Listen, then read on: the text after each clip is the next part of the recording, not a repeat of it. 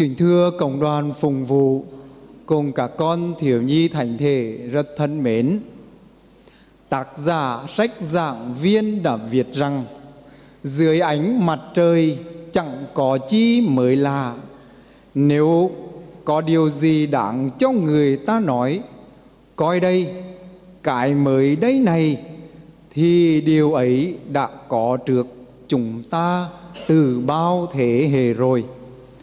Câu kinh thánh này sẽ là câu trả lời gậy gòn cho anh chị em nào đi lễ với tâm ý, đi chầu lượt với ý nghĩ rằng nghe cha giảng có gì hay ho và mới lạ. Thiên Chúa hiện hữu từ đời đời, giáo lý nào có chí mới, tin mừng chẳng đổi rời, và rồi thánh lễ cùng bấy nhiêu công thức, cùng chừng đó lời thưa đọc phùng vụ lời chúa, tiếp nối với phùng phùng vụ lời chúa xong, rồi đến phùng vụ thánh thể. Lễ xong, chúc anh chị em đi bình an. Thế là ra về quá quen thuộc.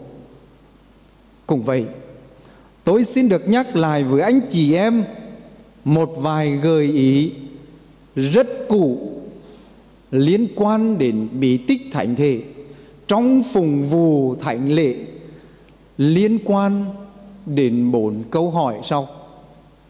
Câu hỏi thứ nhất, Chúa Kitô hiện diện thế nào và bao lâu trong bí tích thánh thể? Câu hỏi số 2, chúng ta đón nhận thánh thể như thế nào? Và từ Amen có nghĩa là gì?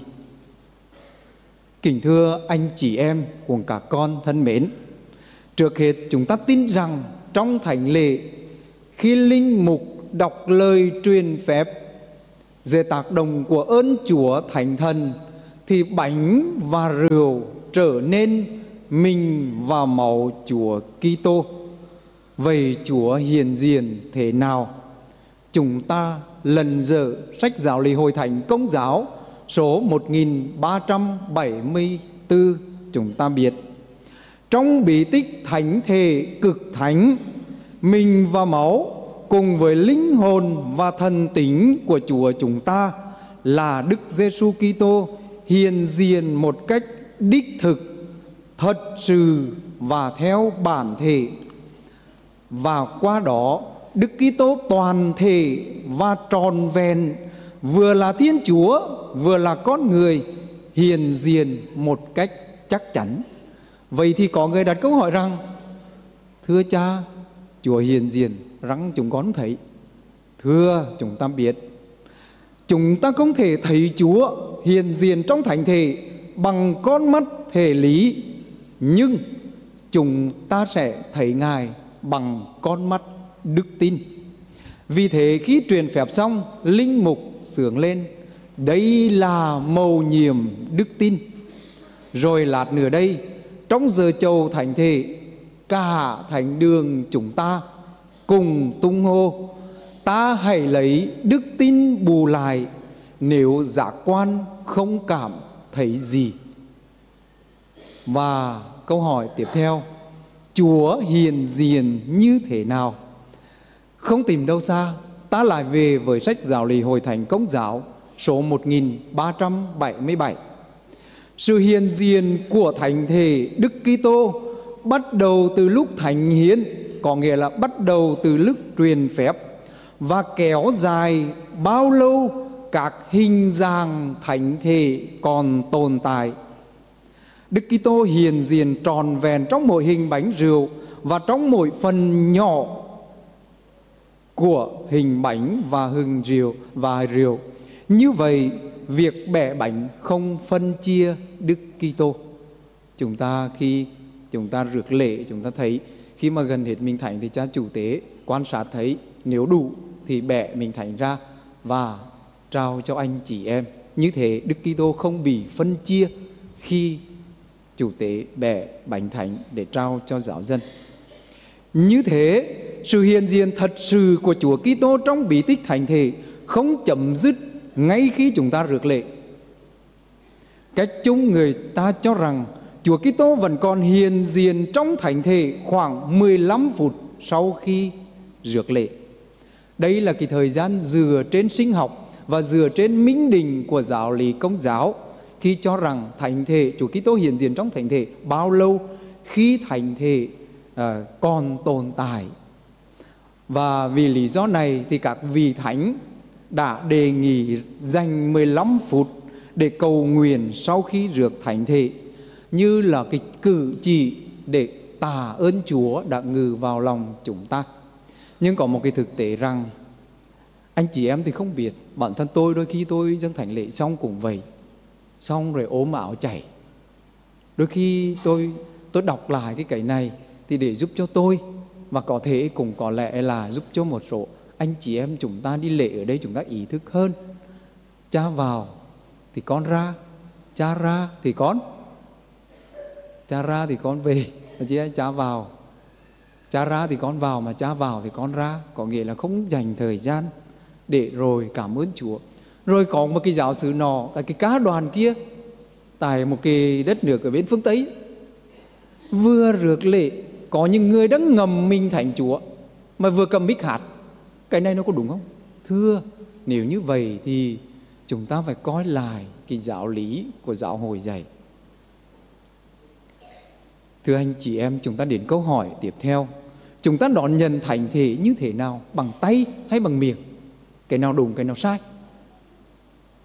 Và từ amen mà chúng ta thưa có nghĩa là gì? Kính thưa anh chị em vì Chúa Kitô hiện diện trong bí tích thánh thể nên chúng ta tin rằng rước lễ là rước mình thành Chúa Kitô. Mỗi lần lên lên rước lễ, ta nên đón nhận thánh thể thế nào cho sự hợp. Thưa anh chị em, hiện nay trong giáo hội Việt Nam chúng ta thì rước lễ bằng tay và bằng miệng đều được phép. Tuy nhiên thói quen của chúng ta và thông thông thường là rước lễ bằng tay nhưng mà rước lễ bằng tay thì phải đặt tay như thế nào? Thành Cyrilo thành Jerusalem căn dặn chúng ta. Anh em hãy tiến đến trước Chúa với lòng kính cẩn. Hãy đưa tay trái với lòng bàn tay hơi trùng, còn tay phải đặt dưới tay trái, để hai bàn tay của anh em trở nên như ngai tòa cho vua trời ngự xuống. Tôi thấy có những người rước lễ gì? Tay thì một tay thì khoanh như thế này một tay thì đưa ra như thế này hoặc đưa ra như thế này bắt đầu cha đưa cái thì bắt đầu đưa vô. Rồi có những người như thế này đưa cái tay ra như thế này cha đặt bánh như thế này như thế này luôn. Như thế nó có đúng đâu đúng đúng không? Lòng ở đây này, chúng ta để ý này các thánh dần như thế như thế này như thế này. Sau đó có mình thánh chúng ta từ từ lấy mình thánh và đưa vào chứ không phải là đưa vào mình. Mình ăn liền cũng được. Như thế chúng ta biết việc đón nhận thánh thể cũng phải trang nghiêm và tôn kính. Chúng ta đến câu hỏi cuối cùng. Khi đến giờ chót rước lễ, vì tư tế cầm địa thánh hay bình thánh tiến đến những người chót rước lễ, ngài nâng mình thánh lên một chút trước mặt từng người và nói, mình thành chúa Kitô, người rước lễ thưa, amen. Vậy amen có phải đọc cho hay hay không? Có những người thì không thưa amen luôn. Thưa, amen là một từ do thái. Trong trường hợp chúng ta lên rước lễ amen có nghĩa là tin đúng như vậy, tôi tin chắc như vậy. Đó là minh thành chúa. Bởi thế tiếng amen trở thành một lời tuyên xưng đức tin, bày tỏ niềm vui cũng như sự sẵn sàng của tâm hồn để tiếp nhận tăng phẩm chúa ban còn một cha dòng thánh thể, người Pháp thì giải thích rằng, Amen có bốn nghĩa sau. Amen có nghĩa là Vâng lạy Chúa, Con biết rằng Ngài đang đến với con Và bán mình máu Ngài cho con Giữa hình bánh rượu Ý thứ hai, Amen có nghĩa là Vâng lạy Chúa, Con đón rước Ngài Và con yêu Ngài hết linh hồn, Hết sức lực và hết trí lòng con Nghĩa thứ ba Amen. Vâng, lạy Chúa, con muốn đi theo Ngài và xây dựng vương quốc của Ngài. Ý thứ tư, Amen có nghĩa là vâng, con muốn là môn để Ngài và trở nên rộng như Ngài.